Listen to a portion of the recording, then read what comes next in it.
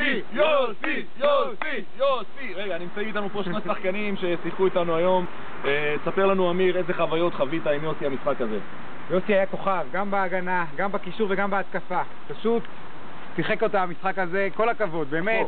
אני חושב שהוא צריך לעזוב את בנק דיסקונט ולעבור לנבחרת פה, אין מה לעשות, חבר'ה. רגע, השאלה... ואתם אנשי. בנק דיסקונט, כדאי לכם לתת לנו חסות פה עם יוסי. אה, כשנהיה למעלה אתם עוד תצטערו.